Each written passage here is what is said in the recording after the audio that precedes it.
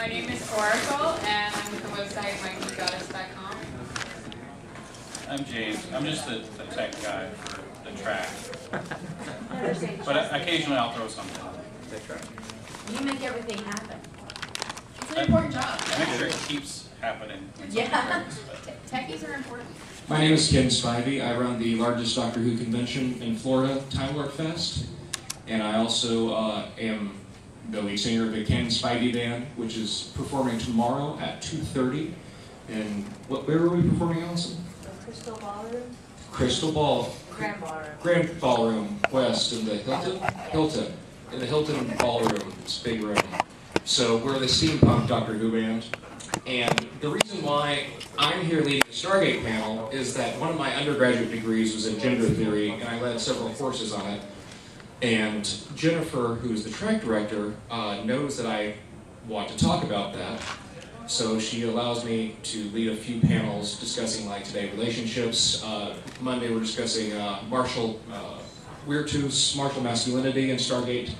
How come a woman has to hold literally a staff to be to be considered uh, masculine on the show? So today we're discussing relationships. It's not just making love; it's how people interact. So let's go at a very basic level right now. Let's compare and contrast uh, two characters from two of the shows. Let's compare and contrast um, Samantha Carter and uh, was it Talia? Talia from Atlantis, wasn't it? Teyla. Teyla. Teyla. I always forget her name because I try to. Teyla. Okay. How do you compare and contrast Teyla and Samantha Carter? Samantha, it, well, she is a woman in a uh, in a man's world. Basically, she's a female soldier. Um, and so I think that she's constantly trying to prove herself, Yeah. and she has no problem doing that because she's pretty badass. Um, Teyla is more of a, I guess, utilitarian. She's trying to help her people and trying to do what's right for her people. So. Yes. Isn't Teyla kind of the same thing though? I mean, as far as like a, a woman in a man's world being a leader, where it's not typical for, I mean, women to be as much of a leader in her culture as well. Well, uh, I, I have an interesting take on Teyla. Uh, it's Teyla, right? Yeah. I, I, sorry, I just really don't like her character. um, for one thing, is that every single woman on that show has the same blouse for five years. I don't understand. Like, like Weir has the red blouse of authority, and, and she's not even her rank. She's just like, how can we make her look feminine and strong? Well, we got this at Bell's. Let's have her wear that. Um, looks good. Sure, stick with it. You saved on the budget. Okay. Teyla, she had such potential. She came from a warrior culture. And many times in the show, they had a chance where they could have allowed her innate wisdom, because we saw how incredibly powerful it was to be equal to that of the scientific knowledge and the academic knowledge of the other characters. With wisdom taken in that regard, you could say that it just her understanding of concepts and of, and of reality itself. If they had a medical problem or a scientific problem, she could hear the basic concepts and give a very elegant solution based on her innate wisdom. That only happened maybe once or twice. Instead, she became a very uh, effeminized, weakened character. And eventually, uh, Jason Momoa came on and became what she was supposed to be. So, yes, she almost was Samantha Carter, but they didn't give. She had all the capability and, and the potential to be a Samantha Carter, but in my opinion, they didn't know how to write her character. Like, how do you make somebody, if we're playing D and D, whose skill set is really high in wisdom and really high intellect, but uh, but very low in like charisma? Because even though she was an attractive woman, people didn't really relate well to her. So that was my major issue with her is that they never wrote the character well. Uh, her romantic relationship, I think she had like one or two, made no sense. What, what, what was the point of her in the show other than to walk around and essentially be the Native American spirit guide who will walk up and say like, "Don't put glitter on the ground." That's all I got out of her. Samantha Carter, we saw grow. In the first season, we saw her give the uh, wonderful speech that I'm more than my private parts. Everybody remembers this speech. Over time, she became more than just somebody who holds a staff weapon. She became a, a, a character in her own right. Once we got past the weird episode with uh, where, where everybody had to use their sex powers to overpower the ghoul that, that used her sex powers. Hathor, even though I enjoyed it quite a bit, uh, it, my eyes were glued to the screen. It was great. Um, I, I didn't see. It didn't help her character much. I think I really saw her come into her own oddly when Daniel left. When Daniel left, someone had to fill in that intellectual and authoritative void. And I believe that's when she finally came into her own. Unfortunately, but close to when she was fading away from the series. So, bearing that in mind, around that same moment, I just, I, I believe her relationship with the replicator. Do you remember this? That was amazing. And that where I'm leading all this to is why did it work? The replicator relationship with Samantha Carter. I want to open this up to the panelists first. Why did that one specific relationship, why was, at least to me, I don't know if it was to you, why was that believable?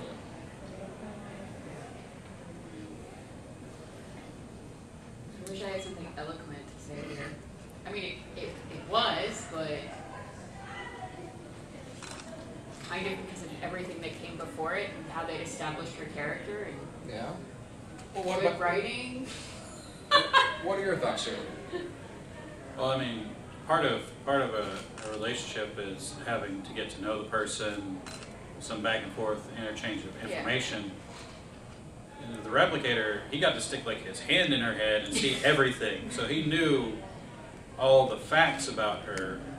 It was just trying to get that emotional connection. And he was the only one out of the group of those replicators that had those proper emotions. And I think that's part of where that came in. Well, it was following a similar theme to her relationship with the Tok'ra.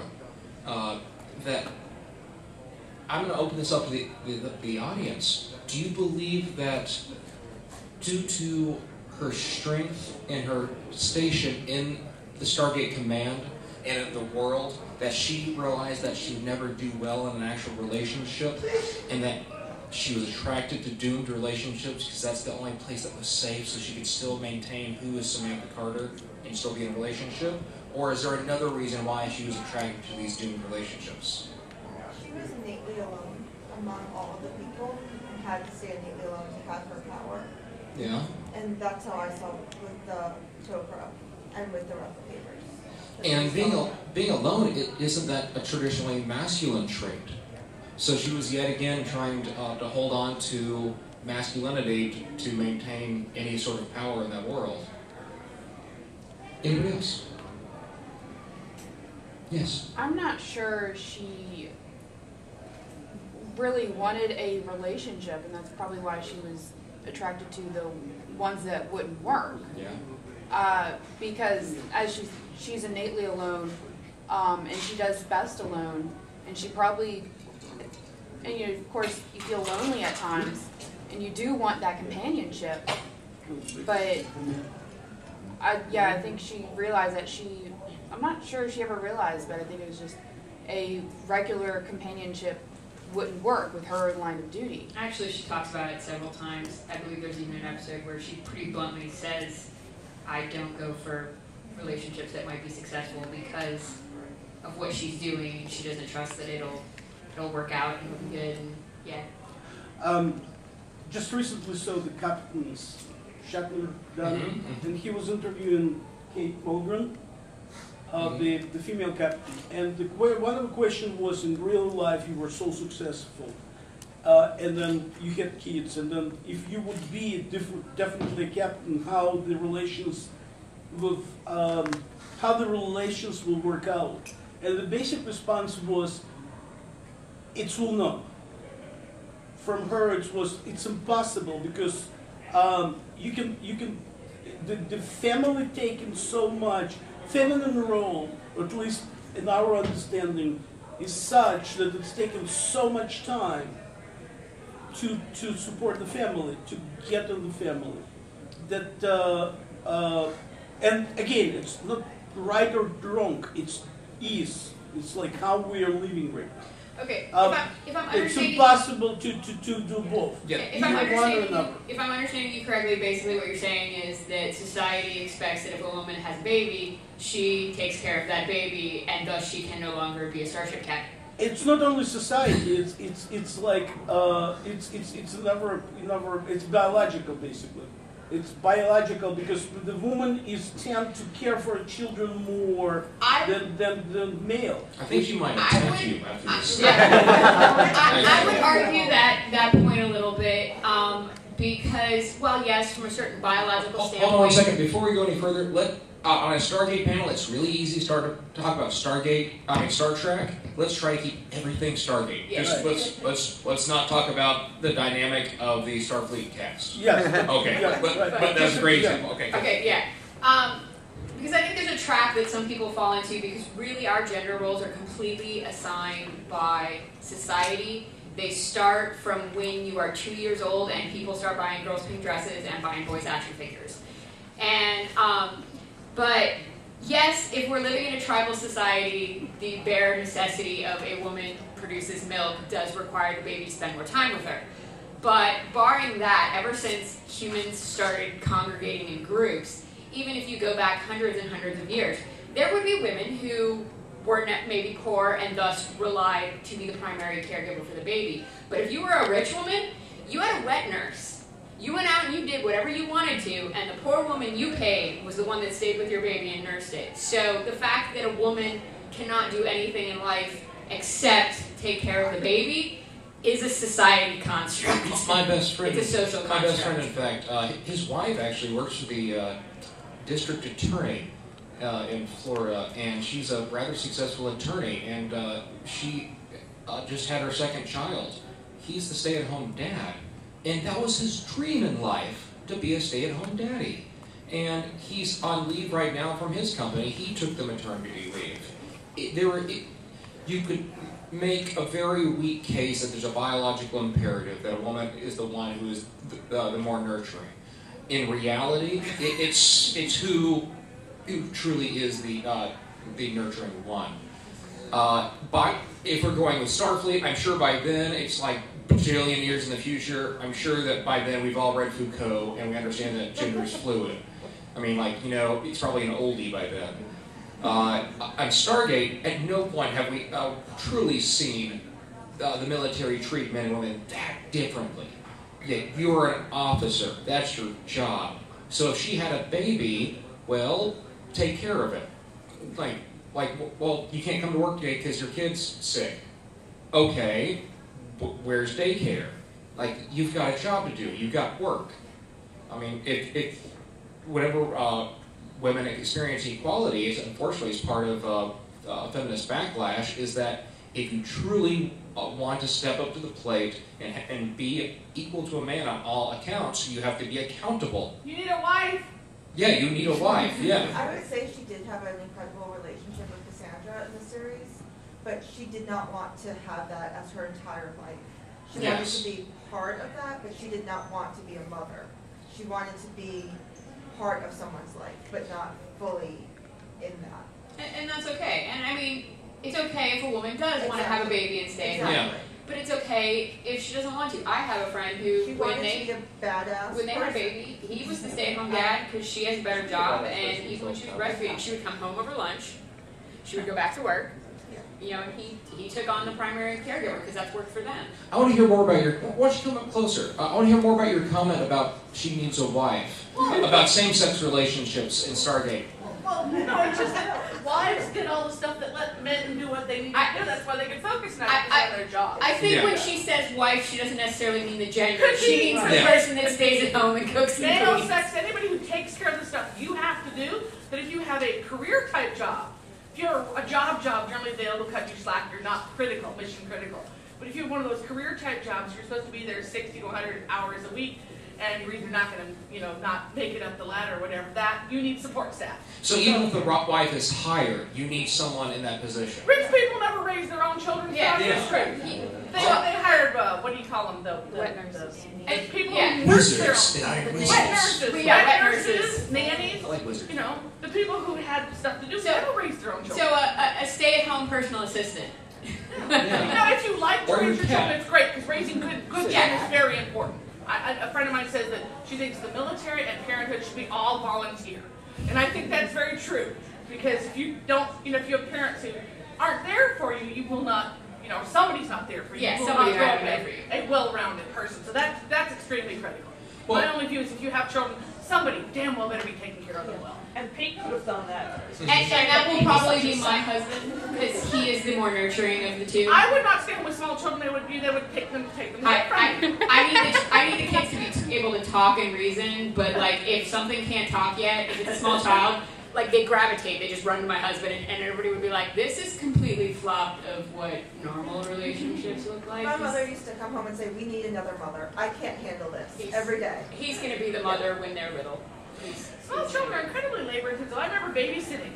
I would have paid that lady to come back home at the end of the day, you know, much less, and they were just two fairly well-behaved toddlers. And it was like, it was the best birth control I ever came across. It was like, I am not gonna do that by accident. Well, um, Yeah. let's let's talk about uh, Daniel Jackson and his relationships. Did Daniel ever recover from the initial heartbreak? No. You have a comment? Yeah.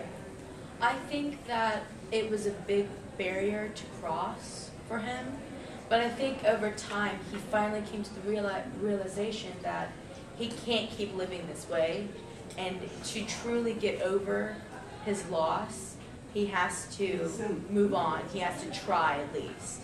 And I, you saw that with a few different people, very hand, small handful, but he got at least something out of each one he tried, and I think that was enough for him because it gave him a little bit of pleasure and a little bit of ease to move on.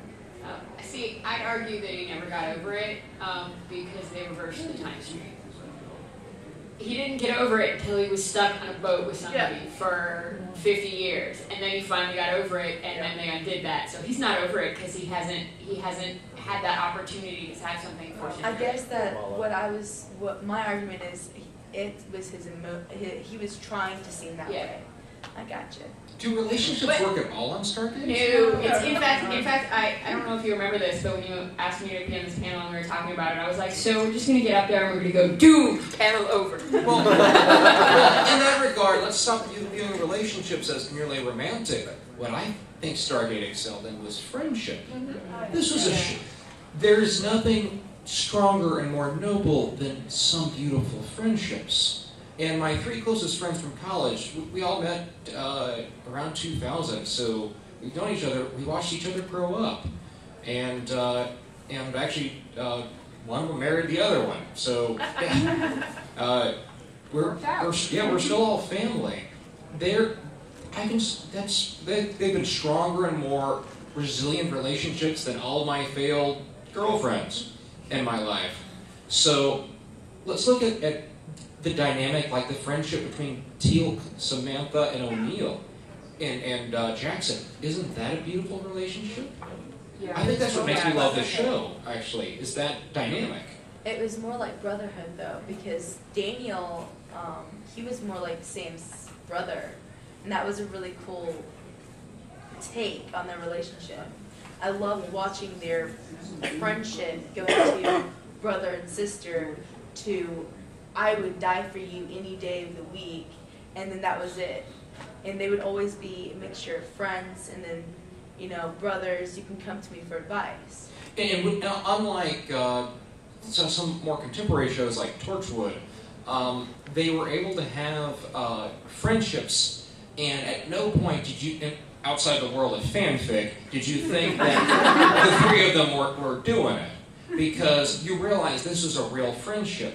And I think a lot of shows don't give enough respect to the love that you can have for someone outside of romance, just the true love friends can have for each other.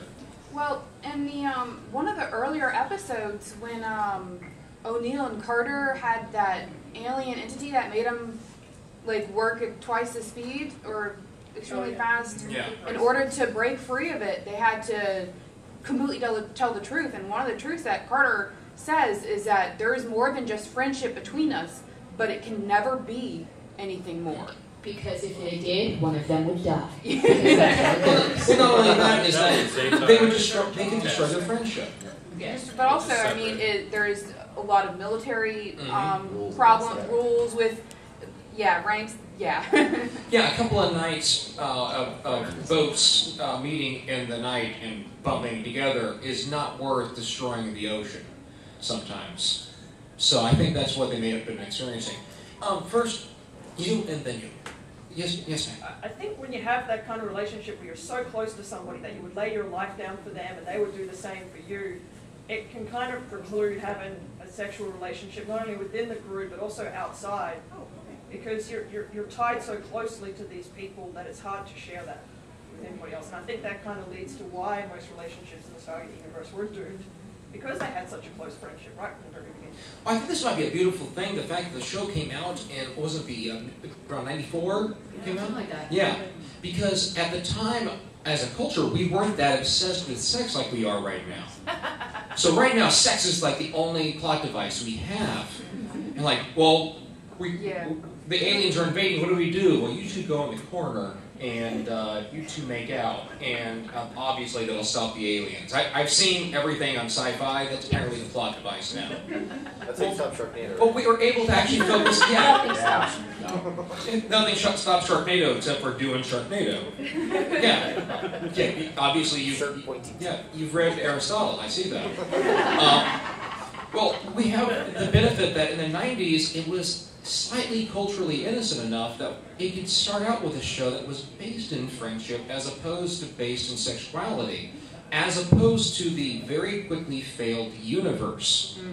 which if they had stayed out of the bedroom, the show could have still been on the air, in my opinion. There are so many weird things they did, like with the stones, if they had not done that and not fallen into the trap, the sex trap, and, and just made it a show about a dyna- interesting dynamic of these people that shouldn't get along, learning to get along, don't you think the show might have a third and fourth season? I, Like if it was, it, it was a little more of the traditional, more innocent formula. We'd explored more technology. Yeah. yeah, I, I think So that my friend would still have a job. I think No, they have more seriously, problems. I was in middle school with David Blue, so I felt really horrible because the show got canceled before I even realized he was on it. Well, um, well, this is a, a perfect example. Uh, m- may we go into slight detail about what your business is? Oh yeah. Oh, Um, she she runs an adult-themed uh, cosplay website, which could not truly be appreciated or uh, in 1994. now it's it's not only acceptable, it's it's like okay, it is, it is what it is. Although we still get occasionally people who walk by the booth and are like, sexy nerdy girls, they can't be real nerds. How's that nerdy? Well, at, at least I, I would like to challenge you to play Kirsten in a first person shooter and then you'll shut up. Don't you remember the joke in what the very first Revenge of the Nerds movie when they're bonking the cheerleaders Yeah. and they're amazed that they're so good and they're like, well, we have nothing to do but think about it. so, you know, there's a lot of channeled uh, energy to go into the activity. Well, uh, I like the show because it's about friendship, and uh, I, I'll do, uh, do a confessional. I had a big breakup last Wednesday. It, I had all these great, profound thoughts, and it dawned on me that uh, I've been single for a long time, but I've had friends for a long, for a long time, and these girls seem to last about eight months before something horrible happens. My friends don't lose their minds, and if they and if they do, they, they we can you know go and watch a couple episodes of cartoons and get over it because we can. There, it isn't world shattering. So even Stargate Atlantis, they had great friendships Yes. that lasted. Uh, like McKay, how could you not be best friends with McKay? I mean, come on. you just want to hang out with the guy. And uh, the only thing with that show, let, let's go back. To, let's go to Atlantis for a minute. I want. I don't.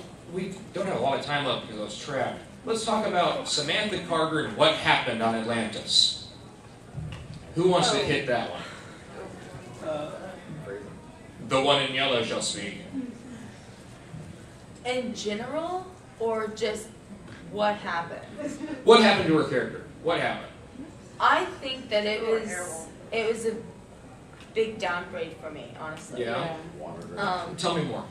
it was she went from this great portrayed character to this very barely ever seen general. And it's like, hold on, that you used to be like, is this your retirement? Like, I gr- uh, she's got great plans. She's got great plans for the facility, um, for leading, but it just they didn't show enough leading with her as in a position for as general. I don't How- think she was. How much of that was actually writing and I how think much it's of that was writing. required because she was on another show? I think that it ha- a lot had to do with the fact that she she had to split her time, Well, which also, ultimately led to her departure. Yeah. well, why did she forget everything about science? I know. Father thing. You know, like what's granola? It's like so. It, yeah, like she kept. What I would have loved to see on that show is her and McKay. That that relationship that, that was hinted at in the first couple of seasons of SG One. If something happened, and years later, she actually grew to respect him, and they fell in love, wouldn't that be kind of neat? I mean, it would be like the most beautiful girl with the geekiest guy. I mean, like, isn't that like at least for the guys? Like, that's what you want, don't you? Like, Well, he's like working with Keller. guys wanted to see. what was that? He's got he's got Keller, so he's he's got the hot. Well, she is shiny. Yeah. So, yes, I just want to point out that the one reason why relationships in Doom and uh, Stargate, Yes. the reason why they're doomed in all shows is you can't afford to bring. If you have a steady relationship, people will expect to see them. You can't afford. You don't have the time or the money to bring on another actor as a regular. That's why you so often end up. If you want to have romantic activity, it's either they've got to be serial romancers. You know, or everybody dies, depending on you know, or they hook up with each other. So I mean, in that sense, it's a it's a, construct of the nature of serial TV. Um, and then I've also read some people have the Stargate team are under basically combat situations frequently. And I'm That's a sorry, I haven't said it, but you get very, very tight with the people you're in that sort of relationship. So something you don't have a lot of, and also it's a secret. They can't tell people. Um, I would find it very hard to be sleeping and living with a guy or a woman if that was my choice, and not telling them stuff that happened at work that day. It would be a real downer for the relationship. Or that You that could be like, if you meet them, stuff. party, sleep with them, and then go and talk about the real stuff with the people you work with. That would be weird. Well, we see Samantha struggle with that in her relationship with Pete. Was that his name? Yeah. So that's good point. Mm-hmm. That and successful relationships are just boring to watch. Yeah, they are. That's that's and that's why a lot of girls go crazy after eight months because they watch TV shows. Just FYI, that make them think that their relationship's supposed to be all drama. You should you should accuse them of that. I, I'll, I'll do it.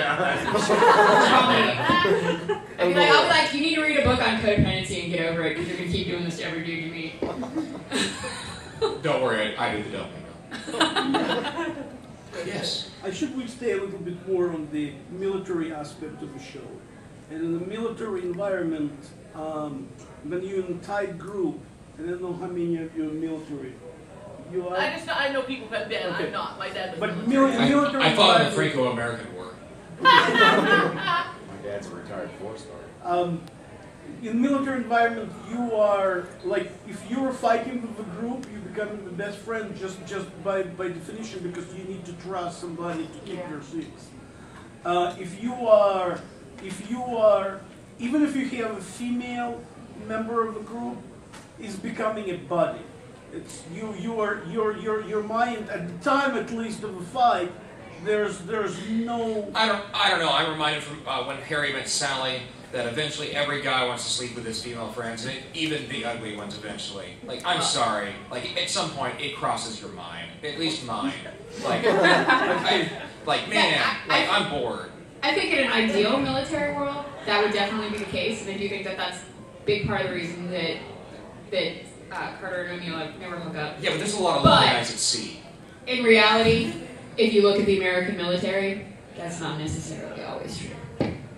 Well, but you have to remember, active duty combat people are usually supported by four to five people. My dad was in the Air Force for Yeah. 20 years. Well, they one, they would never have given him a weapon because he was practically blind. He worked military staff. They didn't get shot at as a routine basis, other than right when they were in the National Pavilion. So they had a lot of nervous energy left over. I would imagine that between while you're in combat, that it would definitely drop down because you're right. You've got to watch each other's back and stay alive. When you're out of combat, well, that's when you go to R and R. So I guess maybe they go and do like weasels, and they go together in R instead of going to the whorehouses nowadays in the military. Well, well, speaking of whorehouses, uh, I have I have a beautiful story to tell. yeah, um, Great segue. brothel, I shall say, since there's a small child and children have heard, never heard of such things. um, my grandfather was uh, stationed in World War II in uh, North Africa, and he fought against the French quite often, and that's why to this day, you- you- you- well, The French? or the French, yes, the French did In fight Africa, us in. World War II, and that's why, yeah. Uh, he was assigned, actually, so many uh, young men would go to the local brothel that they actually had to have active duty officers there to make sure it was safe. Well, my grandfather had the job of guarding the brothel. Needless to say, my grandfather is an experienced gentleman. So there are instances in the military where that can happen. Was he still an active soldier that was able to fight? Yeah. He, he actually hard, hardly ever could talk about how many people he killed in World War II. It, it really bothered him. He was a man's man, but he didn't want to talk about that. But on the other hand, the sheer fact that the men in the military went to a brothel enough that they had to set up a station to guard the brothel, that means yes, there's a lot of nervous energy, and the military was bright enough to recognize that. Which leads us to ask in SG1, what did we not see? What was what was happening behind the scenes? Was it all the support staff that was the support staff? I'm I'm opening up the audience. Uh, anybody have a guess? No. They don't really hint on uh, show. You, you. Are, are you talking about the whole like support staff and the relationship and the friendships with the support staff? You can't leave out Walter, Siler, the support staff that I mean we know and love. They're not massive characters, but they have strong relationships with the characters in the show, and that's clear. Even though we don't know them well, the characters know them. Well, like all the people see wandering around the base, I always presumed they were dating some of the unknown characters, at least off and on. They're probably There were dating longing because looks between ratio Daniel Yeah. and Doc people Fraiser for a while there. Yeah. We didn't see the requisitions and purchasing clerk either. We don't know what they were doing. Oh, that was the, that was the dirtiest person in SG1. Are you kidding? Like, gosh, everyone used to see. You saw that fanfic too? Yeah. That's the best fanfic ever. Yes. And, well, my friend was shocked in the, the episode threads when O'Neill actually had a woman in bed with him. Yes, really. And yeah, because it was like, oh my God, what, you know, well, she's a big Sam Jack thing, but it's like, well, he, O'Neill probably, it wasn't a saint, so He is a fully functioning man. yeah, yes. Fully functional men do not go eight years. Well, what's interesting is we get Vala, a very sexual woman, but we get her in the 2000s. We get her when society was ready for Vala. They, we weren't quite ready for her when the show started. Um, we have a little bit of time left. What, what are some people's uh, opinions on Vala? Yes. I liked her quirkiness. And I think that a lot of times, because I know some people love awkwardness. Like, I feed on awkwardness, I can make jokes about it. And others see that as a humorous or good quality. I think a lot of guys would be like, oh my gosh, I can't stand this girl. But then you gotta, they loved her. They just, she looks great, she acts nice, she's quirky and funny. It was the perfect package for all the guys. She used that to get further, and I liked that. She was almost what Teyla sh- should have been. Yes. Yes. Take what? I, I don't like her. Like she wore a lot of teal. That's all I can remember. Mm-hmm. Teyla was very in a very awkward position, and they couldn't. I think the writers acknowledged that they can't make another Sam, Yeah. and that was very awkward. And I feel really bad for her. but why are there only two female characters that you make? Why can you only have the chick that is so about her job that she doesn't have relationships and the whore? Why can you only have that? I'm sorry if I just use that word with a small child in the background. It's Dragon Con. But- I've seen a lot of latex by now. I'm sure. well, it's, it's kind of society, in my opinion, gives women two options. You can either be the virgin or the whore. Yeah. There's there's no in between. I mean, I think what Val brought to the show was she had that quirky O'Neill sense of humor and was able to push Daniel in ways that we lost when his character went away. Yeah. Um, you know, so to me, I always saw her more of that than the, the sexual force. She, she Well, gave Daniel I, I- I don't again. have a problem with the character. I'm just saying, in, in general, society often gives women those two choices. Please, please don't kill me. I liked the show best when it was Ben Browder, it was Vala, and it was Daniel Jackson. They fought the Ori.